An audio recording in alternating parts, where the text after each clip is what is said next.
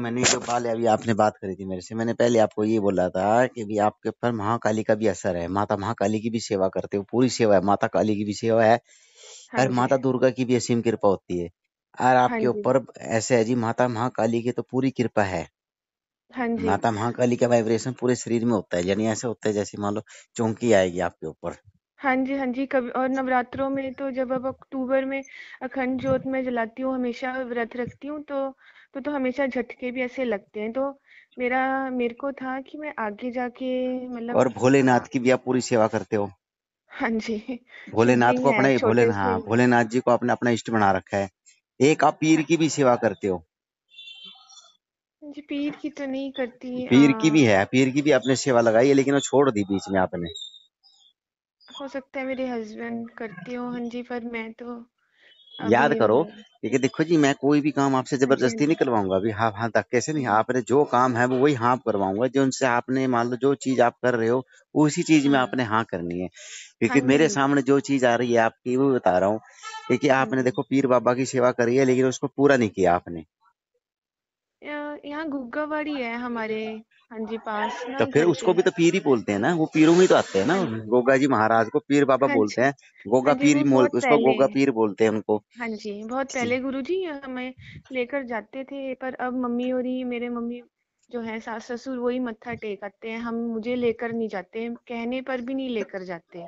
हाँ जी हाँ हाँ जी। जी घर तो में फिर पाबंदियाँ बहुत है मेरे। हम्म, तो मैं हाँ वही चीज़ मैं जी। आपसे बता रहा हूँ ना क्योंकि हाँ देखो जी। जी उसका भी प्रभाव आपके ऊपर है। आपके देखो जी कुल देवता के रूप में पूजा जाता है उसको गोगा महाराज जी को। हाँ जी वैसे हमारी कुल देवी माँ नैना देवी है।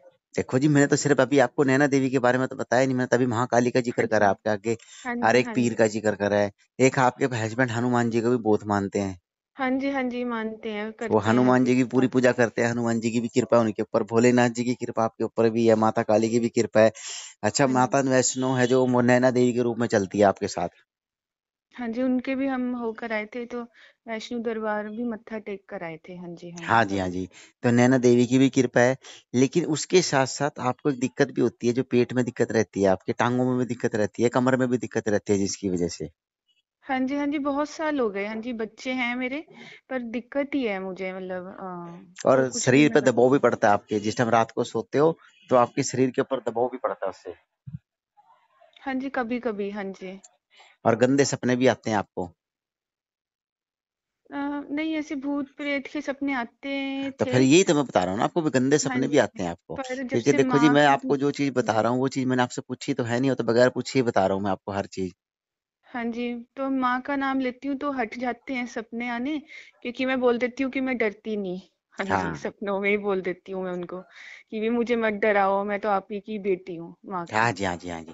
तो मैं वही चीज़ आपसे कह रहा हूँ ना तो ये चीज़ है देखो जी ऐसे इसमें आपने देखो जी सबसे पहले तो देखो अगर माता महाकाली की सेवा करना चाहते हो माता दुर्गा की आप सेवा करना चाहते हो या भोलेनाथ की सेवा करना चाहते हो तो उसके लिए आपके पास गुरु का होना बहुत ज़रूरी है। सबसे पहले तो आप किसी को भी गुरु बनाओ।